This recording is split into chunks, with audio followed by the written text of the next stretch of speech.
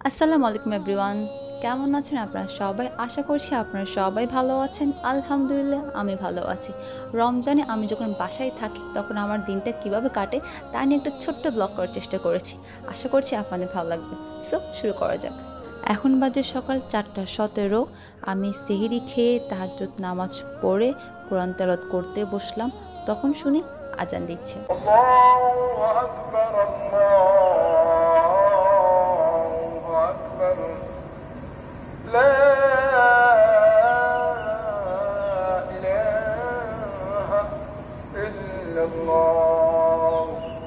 আমি কিছুক্ষণ কোরআন তেলত করার পরে নামাজ পড়ে ফেলি তখন বাজে চারটা সাতান্ন। আর তখন একটু আমি জানালা খুলে বাইরের পরিবেশটা দেখছিলাম। আর সেই সময় আমার আপুদের কথা অনেক বেশি মনে পড়ে গেল।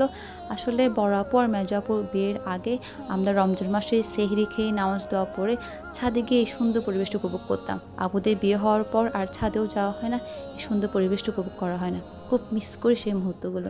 সকালে ঘুম থেকে উঠতে একটু লেট হয়ে গিয়েছিল সো ফ্রেশ ট্রেশ হয়ে নামাজ দেওয়া পরে রান্নাঘরে গেলাম। তখন দেখি যে আমাভাবে ইফতারির জন্য সব কিছু ঠিকঠাক করে নিচ্ছিল। দেন আমি বারান্দায় যাই, বারান্দায় গিয়ে আমার গাছে একটু পানি দেই, কারণ সকালে আমার গাছে পানি দেওয়া হয় নাই, তাই গাছে একটু পানি দিয়ে নিচ্ছিলাম।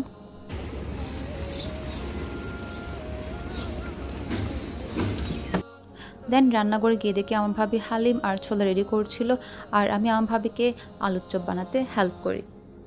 আর কিছুক্ষণের মধ্যে আমার ভাবি falooda, china grass noodles chotpoti haleem সব কিছু রান্না করে ফেলে। দেন বিকালের দিকে আমার মেজো আপু আমাদের জন্য অনেকগুলো ইফতারি নিয়ে বাসায় আসে। আমি আর আমার ছোটো বোন অনেক এক্সাইটমেন্টের সাথে টিফিন কারিটা খুলছিলাম আর দেখছিলাম আপু আমাদের জন্য কী কী ইফতারি এনেছে। তখন থেকে আমার আপু আমাদের জন্য fried rice chicken fry chicken chilli chicken lollipop এই সব কিছুই আপু এনেছে। আর আপনারা যদি এরকম খাবারের রেসিপি চান তাহলে আপুর পেজ থেকে ঘুরে আসতে পারেন। আপুর পেজের নাম হলো চাটকাই আপা। ইফতারের আর কিছুক্ষণ বাকি ছিল, তাই সব কিছু টেবিলে সার্ভ করছিলাম। ভাবি লাচ্ছি বানিয়েছিল আর সাথে অনেক ইফতারি বানিয়েছিল, সবগুলো আপনাদের দেখিয়েছি। সবগুলো টেবিলে সার্ভ করার পরে আমরা সবাই ইফতার করার জন্য ওয়েট করছিলাম।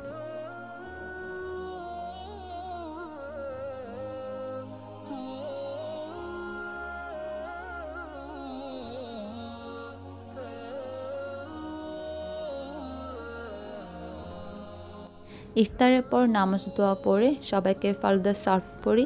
এটা হলো আমার মেজাপুর জামাই, আর এটা আমার মেজাপুর মেয়ে বড়টা অ্যান্ড এটা ছোটোটা। আর এটা হলো আমার ভাইয়ের বড় মেয়ে লামিসা। আমি যেদিন ব্লগটি করেছিলাম ওই দিন ছিল নাইন্থ এপ্রিল সেই দিন আমার মেজাপুর মেয়ে বড়টার বার্থডে ছিল বাট রমজানের কারণে তেমন কোনো কিছু প্রিপারেশন করা হয়নি, তাই একটু করে সিম্পল ডেকোরেশন করে আপু একটা পুডিং বানিয়েছিল, ওটাই বাচ্চারা মিলে কাট করে। Happy birthday to you. Happy birthday, dear Roja. Happy birthday to you. আটটা সাড়ে আটটার দিকে আমি ঝাল করে আনারস মাখা রেডি করেছিলাম তারপর লম্বা একটা ব্রেক দেওয়ার পরে দশটা সাড়ে দশটায় সবাই মিলে রসমালাই খেয়েছিলাম হঠাৎ রুম থেকে খেয়াল করলাম চাঁদটা অনেক সুন্দর লাগছিল, তাই দৌড়ে বারান্দা গেলাম চাঁদটাকে আরও সুন্দরভাবে উপভোগ করার জন্য। আর মাশাল্লাহ চাঁদটা অনেক বেশি সুন্দর লাগছিল, যদিও আমার ফোনে ভালো মতো ক্যাপচার করতে পারি নাই। সো আজকে ব্লগটা এইটুকুই ছিল। আশা করছি আপনাদের ভালো লেগেছে। ভালো লাগলে লাইক দিয়ে যাবেন কমেন্ট করবেন কেমন লেগেছে।